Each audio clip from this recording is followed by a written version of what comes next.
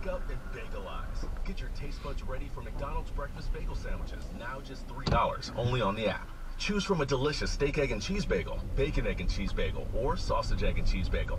Just $3 when you order ahead on the app. Hurry and seize this breakfast steal before it's gone. Offer valid 7-17-2023 through 8-13-2023 at participating McDonald's. Valid one time per day or per person or any other limitation. Must opt into rewards. When it comes to sleep, overheating is a nightmare. One way to stay cool? The all-new Tempur-Pedic Breeze Collection, available at Ashley. The Tempur Breeze Collection is the ultimate solution for hot sleepers, pairing all-new cooling technology that pulls heat away from the body with the comfort you expect from Tempur-Pedic. So it's cool from the second you lie down, all throughout the night. Head to your local Ashley store to talk to a sleep expert and shop the Tempur-Pedic Breeze Collection today. One of those inconsistencies was about how worried Francisco was and when. Like Francisco tells them that he was worried right away, basically from the 15th on. Says he even tried to search for them on his own, which I'm pretty sure is news to Lydia. And then Allison's best friend comes forward and tells investigators that he'd stopped by their apartment looking for Allison on either the 16th or 17th. So again, after he says he's worried and looking for them, and when this friend stops by, Francisco had told him not to worry because they're in Toulouse, they turned off their phones, everything's probably fine. So he's all worried and searching on the 15th, but he's telling this kid the very next day or so that nothing's wrong. He knows Yeah. exactly where they are. Yeah, and obviously both can't be true. Right. And at the same time, investigators are figuring out some other concerning things. Like, not only have neither of the women used their phones since the 14th, and there's no sign of them on the internet or social media, but they also haven't touched their bank accounts. They're traveling without spending a single dollar. Doesn't add up, right? And the whole idea of them traveling actually doesn't make much sense either, because the family car is with Francisco, and neither woman have licenses anywhere. When investigators check the CCTV footage at the train station, they're not on it. There isn't any record of them taking any form of public transportation to Toulouse or anywhere. Ashley, what are you talking about? It all makes sense. Of course they haven't spent any money traveling. These two must have freaking walked to Toulouse. I mean, honestly, it's the only option that makes Francisco's story make sense. Nothing is adding up. And at the end of July, investigators put out a national broadcast asking the public for help finding the women. And right away, a few tips do filter in. Possible sightings of both of them, I think. But investigators' initial hopes are dashed when they turn out to be false leads. So on August 1st, they finally turn their attention to the family apartment for a search.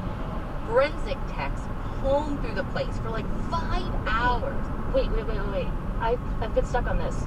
It took till August 1st to look at the apartment. Yes. So they go missing on the 15th, we think. And Francisco is just being in the apartment, hanging out, being worried, then suddenly not being worried, and being worried again for over two weeks before investigators even take a look at the place. Yeah, you're not. Yes, there is this huge gap where they're not taking a look around at all.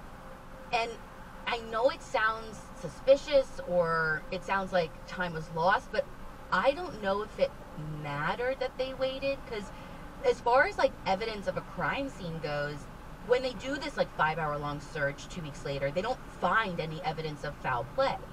Okay, but to me, that's all the more reason it does matter. I mean, saying nothing's there now, again, 18 freaking days later, does not mean there was always nothing there. Yeah, and you're right. And listen, what they're saying isn't that. They're not saying all all's good here, nothing happened here. Okay. Really, what they're saying is that they haven't ruled anything in or out, or anyone in or out. I mean, they're still open to the possibility of a voluntary disappearance, but they are still considering some form of foul play. By August 4th, Francisco seems like he is just crumbling, which becomes super clear when a video of him is posted online that day. And just an FYI, I'm a little unclear whether Francisco himself posted this video or whether it was shared with the media outlet that then posted it, but either way, in it, he's speaking directly to the camera, openly weeping. And I'm actually going to play a little bit of the clip for all of you. And obviously, most of us won't be able to understand the words he's saying, but I want you, it's more the emotion I want you to get because he is clearly distressed. And in the video, he is like declaring his unconditional love for his daughter and says that he's hoping for the safe return of both his daughter and his wife. And he also refers to all of the pressure that he's under, saying that despite his best efforts to hold on, he's on the verge of exploding. Je suis quelqu'un de comprendre ma vie, et que ça veut dire forcément qu'il est petit. Et ma fille a voulu faire une chose comme ça, et pas donner des nouvelles, des choses comme ça, c'est impossible. Il sait que c'est impossible. Oh my god, y- you weren't kidding. He's like falling apart. Even in language I don't understand, I feel like you can still feel all of that emotion. Falling apart is exactly the right term to use.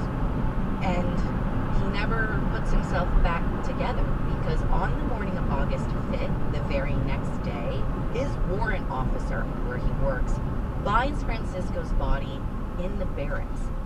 He died by suicide between the hours of 5 a.m. and 7 a.m. that Monday. And with this discovery, the video from the day before starts seeming like something of a suicide note. Uh, yeah, especially like you said with the translation of it being like on the verge of exploding, trying to hold himself together. Saying how much he loves his daughter. Yeah, Yeah. it's heavy stuff. And it also introduces some troubling questions. Like, yeah, it seemed like he was being sincere in his video. And Mhm. I, I do. I think he was being sincere, but the question becomes sincere about what? Sincerely devastated Right. about the disappearance of his wife and daughter, or sincerely guilt stricken by the knowledge of how they disappeared? And this is really when investigators change their tune publicly. Whatever discretion they've been exercising up to this point regarding their suspicions of Francisco, it's pretty quickly set aside. At a press conference that same day, the deputy prosecutor acknowledges that the women probably aren't alive. And he indicates that the chances of any sort of voluntary disappearance on their part are rapidly diminishing. And he goes even further, acknowledging that it's, quote, difficult to accuse a dead person. But he's also doing little to hide the fact that that's what he's doing. Right. Now that Francisco's gone, basically their only real possible witness to the women's disappearances, investigators decide to seize Francisco's cell phone and laptop as well as to take another look at the family's apartment. Mm-hmm. While those items are being analyzed, they also establish a national tip line because they're having a really hard time finding witnesses who can either confirm or dispute elements of Francisco's story. And I think that's in part just due to the time of year it is, because July and August are the months that a lot of French people go on extended vacation. So a lot of people who live in this area are out of town while all of this is going down. I gotta say, Europeans are on something with the whole month long vacation thing. Listen, I want to want that so badly, and you know this, but I'm quite literally allergic to vacation. So True. I might actually be like taken out by the plague if I was to go out that long. Yeah, that'd be dangerous for you. Agreed. Anyway, even with France being in its peak season at this point, investigators eventually track down some neighbors of the family who confirm overhearing frequent arguments coming from their apartment. Uh, Which we kind of already knew, right? I mean, we know they were separated. Francisco even said that they left after an argument that they'd had. Right, that's true. This really isn't new information, although it does tend to support the conclusions that investigators are already reaching. And the next tip that they get makes them certain that they're on the right track. Because it turns out this isn't the first time a woman closely associated with Francisco has disappeared under highly suspicious circumstances. They get this tip from a man named Claude. Really, Claude is calling on behalf of his four teenage kids, who he had had with a woman named Simone de Oliveira Alves. Because when Francisco's face flashed across their television, Claude and Simone's kids couldn't believe what they were seeing. Or rather, they couldn't believe who they were seeing. You see, back in 2004, nearly a dec- nearly a decade before Allison and Marie Jose went missing, 40-something-year-old Francisco had been stationed in the French city of Nîmes. And although he was very much married at the time and a father to Allison, who was around 10 years old, he insisted to Simone, this 28 year old Brazilian mother of four, that he was single and childless. And having no reason to disbelieve him, Simone and Francisco began this passionate affair, and things got kind of serious. I mean, serious enough that she introduced him to her kids. And based on what they tell investigators, he hadn't just met them, he practically acted as a stepfather to them for months, right up until the day their mother vanished without a trace. According to Simone's sister, it was when Simone found out about his whole other family that she disappeared. And not just that. Again, according to his sister, Simone might have even been pregnant. And it's not like no one noticed when she went missing back then. I mean, she had four kids. So authorities opened an investigation into her disappearance. But it doesn't seem like it got very far before it went cold. All investigators were really able to determine was that Simone and Francisco had gotten into some kind of argument. And on the evening of November 29, 2004, she had texted him to say that she was leaving and she wasn't coming back. And then, poof, she was gone. So uh, this guy didn't even come up with a new story. Uh, She texted him. I mean, it worked pretty well the first time because investigators got nowhere. Either they thought she really left, or maybe they had suspicions that they couldn't prove. I don't know. Basically, a couple of years after her disappearance, her case had pretty much been abandoned. No one was digging into it. But now, in 2013, another woman connected to Francisco has sent this vague text that she's leaving and basically has fallen off the face of the earth. Then he takes his own life, just as police are starting to like squeeze on him. So, yeah, maybe it's time to reopen that 2004 case. And they do. Now, it's also around this time that they get results back from Francisco's electronics. And right away, they're pretty interested in a call he made just prior to ending his life.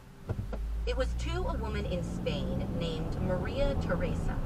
Is this the woman he was seeing before? The one that Allison had found communications with? Yes, same woman. Literally was about to follow up on that. Like, I was wondering if they ever tracked her down and talked to her to see if she knew anything. I get the impression they didn't know anything about her before they found the records of this call. Which is kind of weird. Like, again, I don't know if they're not talking to Lydia. It's a little muddy, and again, might be getting lost in the translation as well.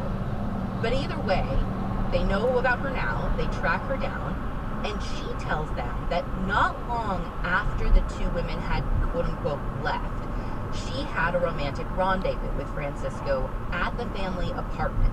Hmm, how long is not long? less than a week. I mean, I think she was there on July 19th. Jesus Christ, we keep it classy, Francisco. If I remember correctly, that was before they were even reported missing, right? Right. And that is an important point because, as far as I can tell, Maria Teresa had no reason to think anything was amiss when she was there. But there was something that she didn't fully appreciate at the time that now she's thinking might be important. She tells investigators that she had noticed something disturbing. You see, when she was there, the apartment had this terrible smell. Time for a quick break to talk about McDonald's.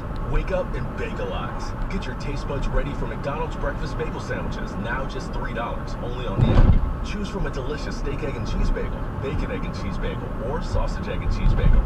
Just $3 when you order ahead on the app. Hurry and seize this breakfast steal before it's gone. Offer valid 7-17-2023 through 8-13-2023 at participating McDonald's. Valid one time per day or per person or any other limitation. Must opt into rewards. When it comes to sleep, overheating is a nightmare. One way to stay cool? The all-new Tempur-Pedic Breeze Collection, available at Ashley. The Tempur Breeze Collection is the ultimate solution for hot sleepers, pairing all-new cooling technology that pulls heat away from the body with the comfort you expect from Tempur-Pedic. So it's cool from the second you lie down all throughout the night. Head to your local Ashley store to talk to a sleep expert and shop the Tempur-Pedic Breeze Collection today. Without the necessary context, she didn't really question Francisco when he told her that the smell was nothing to worry about. Just the smell of the neighbor's garbage wafting in through the bathroom window. The closed, bathroom window. Mhm. Yeah, it's totally that. So, hearing all of this, investigators are thinking that the smell wasn't trash, duh. And the woman's bodies aren't in the apartment by now. I mean, they know that. They look through the apartment. But they have been on July 19th or in the days leading up to it? Wh- Which we would have known if they didn't take nearly 20 days to even look at the apartment. Well, again, I mean, they weren't reported missing, like, at, even at that 19th time. So, no one would have known to even go there on an official basis. But you do wonder. I mean, like, if the smell lingered, if there was something to be found on day 11 when he was dragged to report them missing, maybe they were still there. Maybe there was something to find then rather than waiting until day 18 or whatever. I don't know. And was Lydia ever in the house during this time? Did she smell anything or, think anything was off? This is so frustrating, but I don't know. I can only assume yes, since we know she was in town on the 25th to go to the police department with Francisco. But I can't say for sure. So if she saw or smelled anything off in the apartment, I don't know. Now, around this time, investigators expand their search efforts from the family home to include the facilities Francisco had access to while working with the French Foreign Legion. Because it's not like he just had your run of the mill office job, he had access to living quarters and stuff. And when they start poking around in those areas and interviewing colleagues from the barracks, they realize that he had been doing some bizarre things in the days after his wife and daughter disappeared. Like, for one, they track down a witness who says that he helped Francisco transport a freezer from the family's home to the barracks on July 17th. Seemingly out of nowhere, Francisco had decided he wanted to donate this freezer to the French Foreign Legion. You know, as one suddenly wants to do when one's family is missing. Mhm. So he had this colleague come to the family's apartment to help him move this thing. And And did this guy notice a smell in the apartment? well, actually, that's a great question, but something that, again, the source material doesn't say anything about. But what they do mention is something else that he noticed. He noticed while he was there that a sink was clogged with this thick red liquid. And did he ask why? I don't think so. But keep in mind, this is all happening before the women were reported missing. So he just made a mental note of it, probably not even super consciously, and then went about helping Francisco move this freak. This station, and from your part-time controller, specializing in nonprofit accounting. Your part-time controller helps nonprofit organizations, including associations, with their accounting needs. More at yourparttimecontroller.com. And from Uma, a cloud-based phone service for any size business, with an automated virtual receptionist, video meetings, and other features to connect to customers and coworkers anywhere. At uma.com/npr. This is NPR. It's All Things Considered from NPR News. I'm Mary Louise Kelly. And I'm Juana Summers. Insurance is a critical part of homeownership in the U.S. It is a requirement for most mortgages, and it offers protection against disasters like hurricanes and fires. But as NPR's Nathan Rott reports, home insurance is becoming harder to afford and to get as the world warms. The wildfires were burning more frequently near her home outside of Yosemite National Park, so Beth Pratt did what a homeowner in a wildfire-prone area is supposed to do. She put a metal roof on her home, replaced wood decks with laminate, installed a water tank and fire hose. I've remortgaged my house, you know, spent my life savings doing everything right. And it didn't matter to her insurance company. I just got a letter, not even a hey, we want these things done.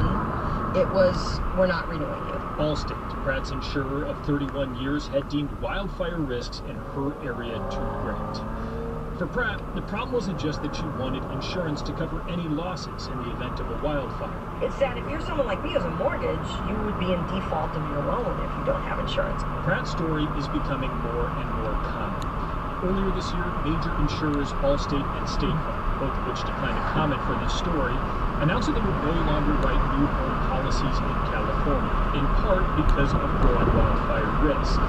Existing policies in some cases are not being renewed. in California and elsewhere in the United States, we're we're marching steadily towards an uninsurable future. Dave Jones is a law professor at the University of California, Berkeley. He was the state's insurance commissioner until 2019. We're simply not doing enough fast enough to reduce greenhouse gas emissions, and as a result, climate change continues to accelerate. Major insurers know from their models what climate scientists have been warning for decades. That climate change is fueling more intense and in some cases more frequent wildfires, floods, and storms. More extreme weather disasters means more damaged or destroyed homes, which means bigger losses for insurance companies and higher rates for millions of homeowners. George Hosfield is with LexisNexis Risk Solutions, a data provider for insurers. might not feel gradual to everybody, but you're seeing a, a gradual increase in rates to catch up with the increases in costs. The cost of home insurance has risen 21% nationally since 2015, Hosfield says. Hotspots like Colorado and Texas have seen increases of 40%. Florida, 60. We're going through a hard time. Michael Yaworsky is Florida's insurance commissioner. Since I started this job, I get about 50% congratulations and 50% condolences when I run into someone who's asked me why I'm here. Just this month, two major insurance companies announced they're pulling back from Florida.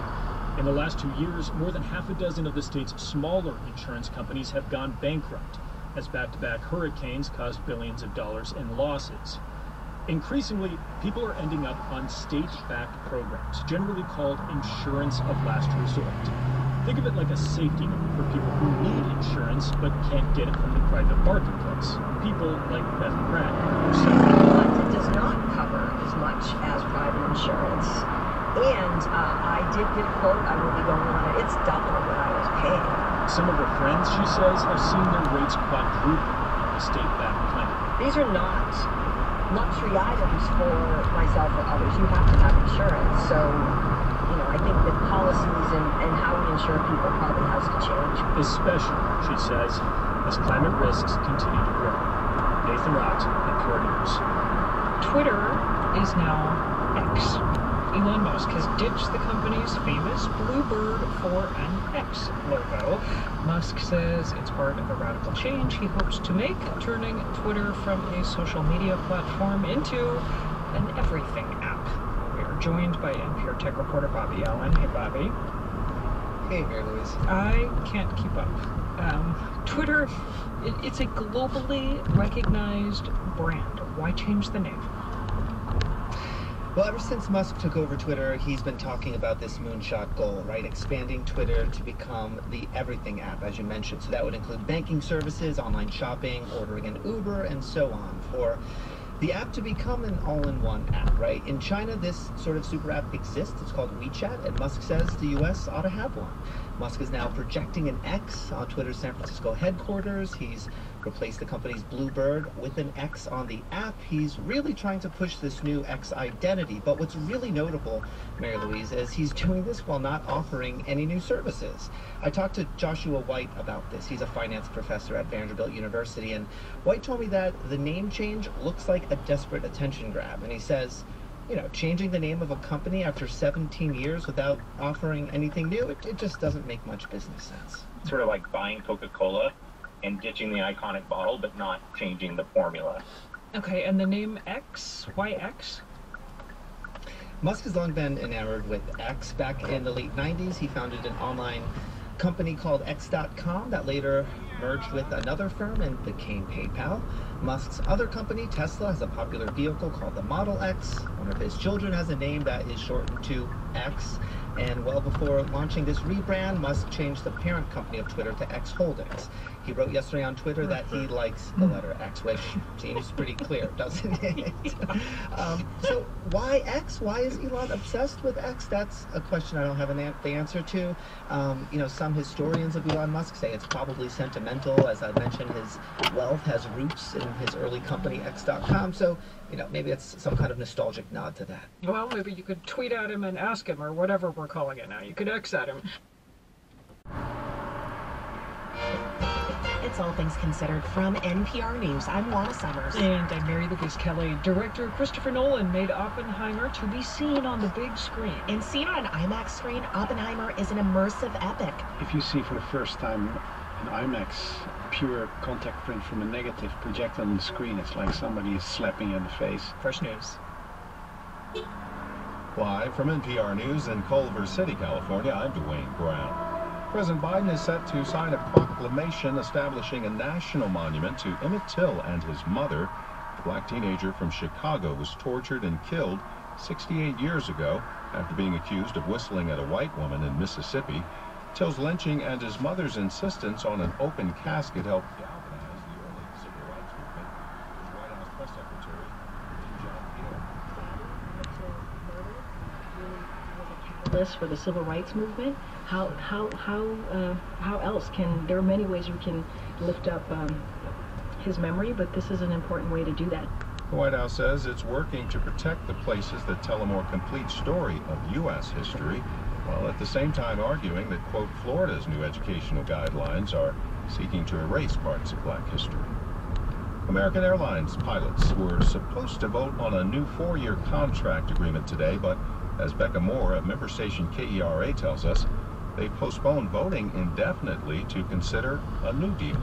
The original agreement offered American pilots a 42% pay raise, but the union that represents them said that fell short of a recent pay increase offered by United Airlines. The new offer from American now matches those increases. Pilots also would get a ratification bonus, more sick time off, increased life insurance, and a medical privacy clause. The new deal's expensive for American and possibly customers. It would add a billion dollars in costs for the Fort Worth based carrier over four years and could lead to higher airfares. No word yet on when American pilots will begin voting on the new agreement. I'm Becca Moore in Dallas. Well, stocks finished higher on Wall Street as the tech sector begins its earnings reports this week. The Fed is also meeting to discuss inflation and whether to raise interest rates again.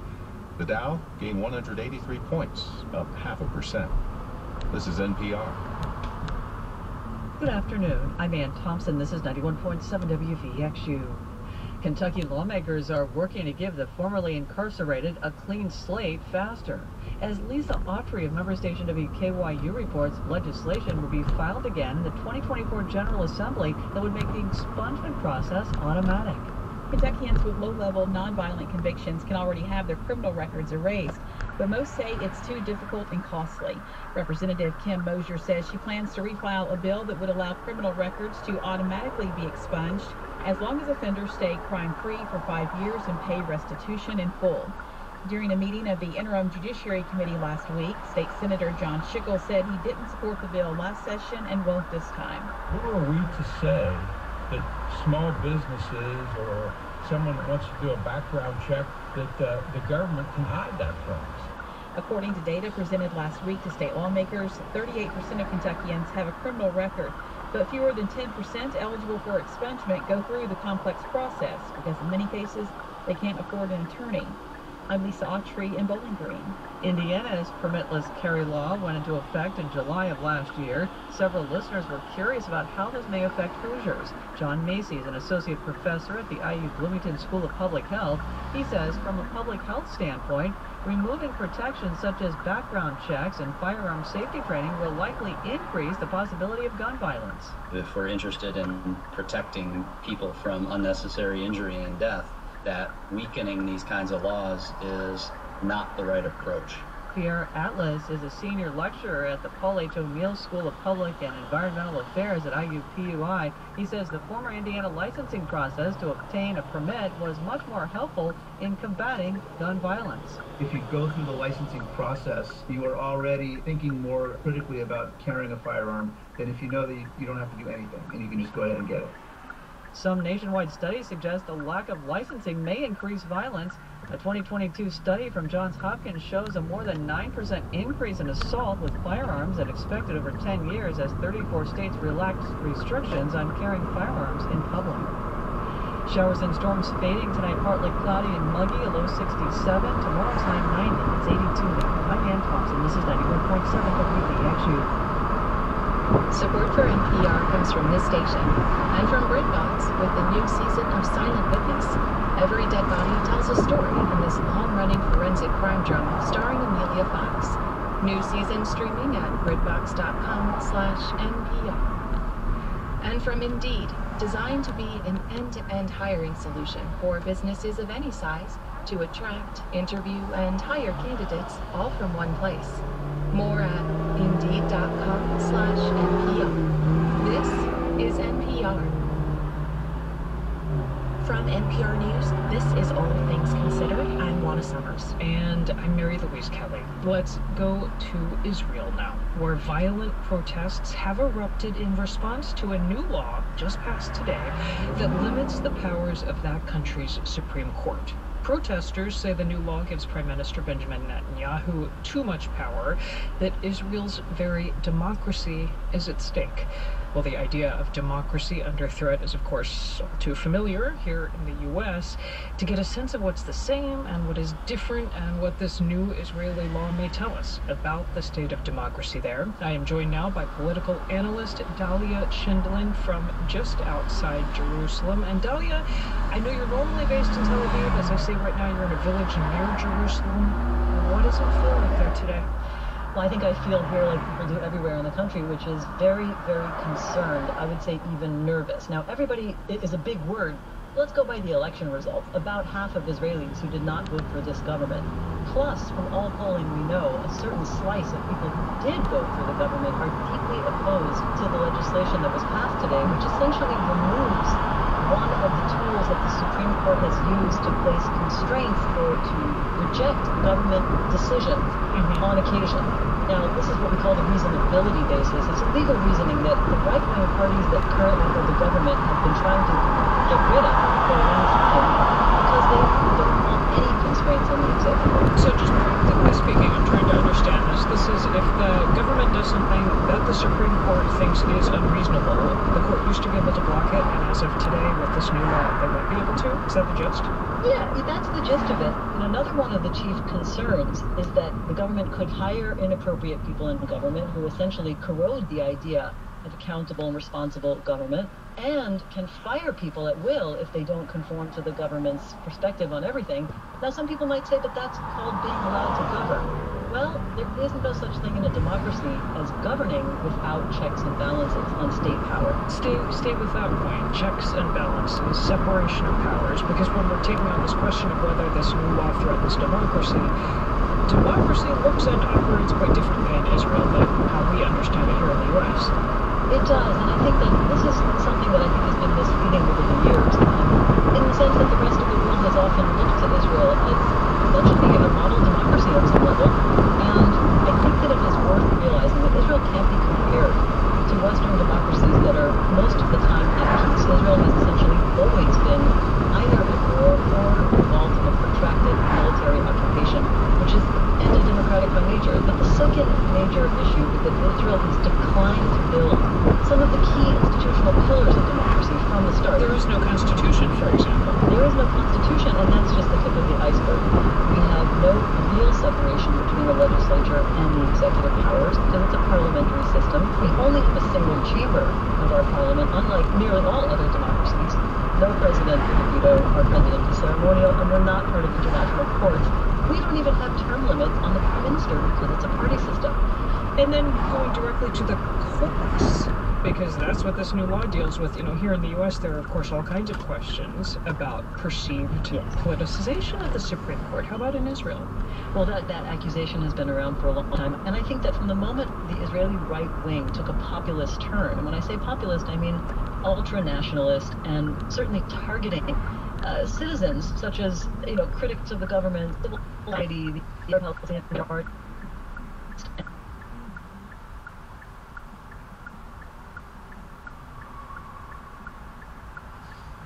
And certainly targeting uh, citizens, such as you know critics of the government, civil society, the Arab Palestinian minority in Israel, left wingers, and this goes back about a decade. When that happened, then people began challenging these policies and bills and legislation in the Supreme Court. And thus began the theme, very, very consistent, almost unrelenting theme that the court has imposed an unwanted universalist liberal perspective on the country. So square this with the argument that the conservative right in Israel would make. That they are saying that they are saying this new law will. I can't square that for you. What it does is remove one of the few constraints that exist on the power of the executive. I just I, the only way I can explain it to you is what the government means. What they mean is that once there are elections, nothing should constrain what the government does with the mandate that it's been given by the people because the majority rules. Now, you cannot redefine democracy to be a stripped down form of elections alone. The idea of majority rules has never been the meaning of democracy. It's always been a matter of protecting of, of representative government and protection of the individual. You can't do that without checks and balances on power. You can't do that without protecting institutionally the full range of civil rights. Without those, elections aren't meaningful anyway. Dahlia Scheindlin is a policy fellow at the think tank Century International, also a columnist for Haaretz. She joined us from near Jerusalem. Thank you. Thank you so much. So-called forever chemicals could be in nearly half of the country's drinking water, according to a recent study by the U.S. Geological Survey. They are called PFAS, and this year the Environmental Protection Agency proposed to limit PFAS chemicals in drinking water. In Virginia, state officials want to know if a type of PFAS known as Gen X is found in fish. Roxy Todd of member station Radio IQ in Roanoke waded through the local river for this report. The water is beautifully clear, with thousands of snails clinging to rocks. We're at the uh, South Fork Roanoke River, just above Elliston. Jason Hill is one of four researchers out on the river today. They're all wearing brown waders, knee-deep in the water. Across the street is the source of a chemical leak that lasted at least two years, says Sarah Baumgartner with the Western Virginia Water Authority and we found it, and it was rather surprising. What surprised her is that this part of the river was pristine until a company, Prochem, added a PFAS, a forever compound known as Gen X. So Roanoke's drinking water no longer comes from here, she says. We stopped pulling water out of the Roanoke River, and we've just been using the water that we already had stored in our reservoir. That will last about three years, she says, and they hope that the Gen X will dilute or wash away but it can stick to the rocks and sediment around us. And people still fish in this river. A recent study found that eating freshwater fish can potentially expose someone to PFAS. So biologist Kelly Hazelgrove flips a net into the water. You find another one? Somebody ran over here. All right, Mac. Get him. Get him, Mac. Matt Calvert is a biology major at Roanoke College, helping with the research. Today, he's wearing an enormous backpack that sends electricity into the water to shock fish. That makes it easier to catch them. That was a nice one that just ran by us. Calvert looks kind of like a ghostbuster moving through the water.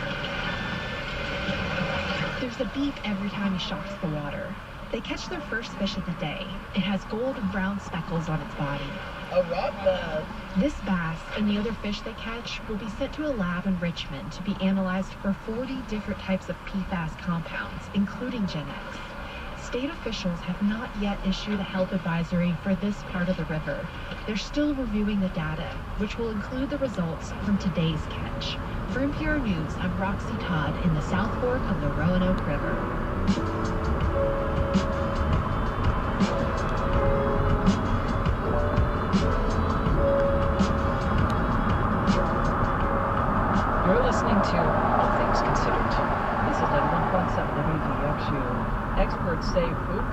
Are getting back to pre-COVID levels and developing new products. They had to pause because of supply chain issues. Some of the food scientists in their labs are among the first to graduate from a new Cincinnati State program. WVXU reports in Focus on Technology. The Culinary and Food Science Lab at Cincinnati State is quiet now because classes in the new Bachelor of Applied Science program don't resume again until the fall. Program Chair Grace Yak shows off the stoves, the sinks, and the counters. This is what you would see in a normal commercial kitchen. Then we have this side of the room, which is where we get a little bit more sciencey. Sciencey, because this degree is in culinary and food science for future food developers, flavor specialists, and more. Students can put their cooking, math, science, and engineering skills to use all together with beakers, flasks, a high precision scale, a magnetic stir, and immersion blender. Nicole Hatfield was among the first to graduate with this new Cincinnati State bachelor's degree. You hit the ground running day one. So you immediately make that jump from the kitchen to a lab setting. So we're starting off immediately making new products. We're doing gravies, we're doing salad dressings, we're doing, uh, we've done ice creams. And learning about technical ingredients, like the tiny print on the back of products. Flour salt is on the shelf in this lab. It's used in seasoning blends. Nearby are buffers to lower the pH. In product development, it's all about formulation and the ability to repeat the recipe exactly no matter who is making it. A lower pH in food prevents it from going bad, but it can cause a sour taste. That's where sodium acid sulfate comes in, another ingredient on the shelf. Here's again. When you hear the word chemicals, that tends to alarm a lot of people, right? We need to better educate, you know, our consuming public that chemicals can be a whole lot of things. Salt is chemical, sodium chloride, you know, table sugar is sucrose. I mean, it can, you know, vinegar is acetic acid, and there are all kinds of different know, acids. She says consumers these days are much more discerning and talk about ultra-processed foods and food safety. Graduate Nicole Hatfield has always had an interest in science. She now has a full-time job as a culinary technologist at Sugar Creek, Brandworthy Food Solutions in Westchester. She works in the test kitchen and also on the manufacturing floor. I consider myself extremely lucky. So part of the program is you have to have uh, two semesters of a co-op with an internship. Within my first internship, which was with Sugar Creek, I gotta jump off here.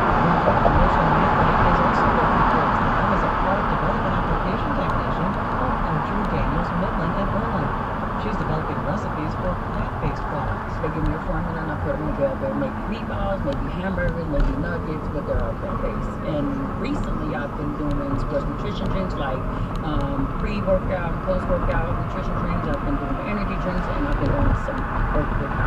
Manley says she has always liked to cook and had a lot of questions. This program answered them and more. Myra Tafoya joined the WVXU interview via Zoom because she was at her job as R&D coordinator for candy company Perfetti Van Melle. I've always had a soft spot for confectionaries. It's something I always wanted to do. Tafoya helps develop new flavors and new candy. She says she loves her job and says it's funny consumers think products just magically show up on the shelves, not thinking somebody has to develop them. Cincinnati State graduate Matt Schmidt used to be a butcher and likes to work with proteins. For his capstone project, he developed a Cincinnati-style chili cheese sausage. FC's killing it, Bengals are killing it, now the Reds are killing it. So I was like, what if we get, what if we had a product that represented Cincinnati as a whole? It's probably most famous food, which is Cincinnati-style chili, Skyline, and Gold Star. So I basically re- reverse engineered Skyline's recipe and then made it from there. Just kind of actually did hit Skyline. I ate so much Skyline. Schmidt is interning at Sugar Creek, the same company fellow graduate Hatfield works for, and he would like to diversify his experiences in this wide field.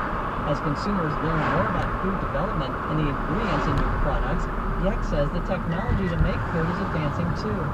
For example, high-pressure pasteurization prevents guacamole from turning brown.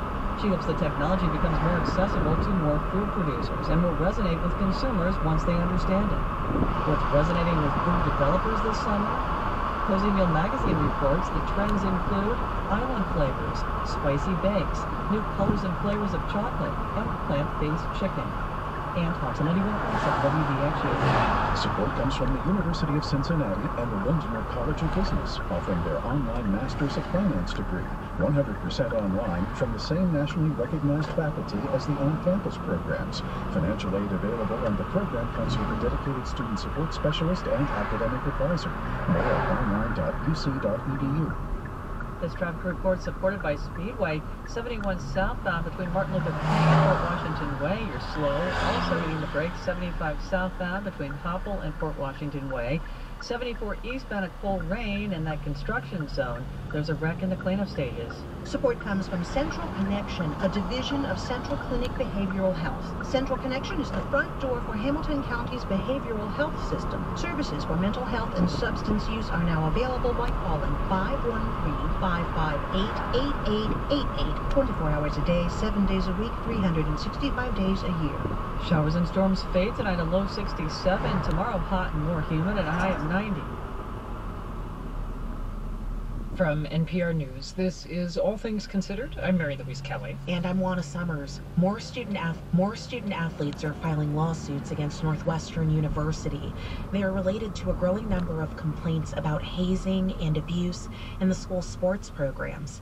Attorneys and a former student gave a more detailed account of what they say occurred, and they charge the university failed to prevent hazing. Lisa Phillips of member station WBEZ has been watching what's happening and joins us now. Hi, Lisa. Hey there. So, Lisa, Northwestern is already facing at least three other lawsuits. Another was filed today. Tell us what's different here. Yeah, this is the first lawsuit that has a named player, and it also has new information about alleged hazing within the football team. It has claims that members of the coaching staff were actually aware of hazing and even subjected to hazing. And details about the hazing have previously come out and includes a tradition known as running, where a group of upperclassmen would hold down an individual. So this might have been an underclassman, or I guess even a, a member of a coaching staff, while they're the whole party is nude and the upperclassmen would actually dry hump the younger players. So some of these allegations, you know, were pretty graphic in detail. Um, um, ben Crump is one of the attorneys representing the former players. Here's what he had to say about it. It's a real big deal when these young people have the courage to take a stand and refuse to be victims anymore, refuse to have their voices silenced, but to take a stand. And Lisa, I understand that a former player came forward today, was named as a plaintiff, named Lloyd Yates. Lloyd Yates used to be a Northwestern quarterback. What did he have to say? Yeah, Yates talked about how difficult it was to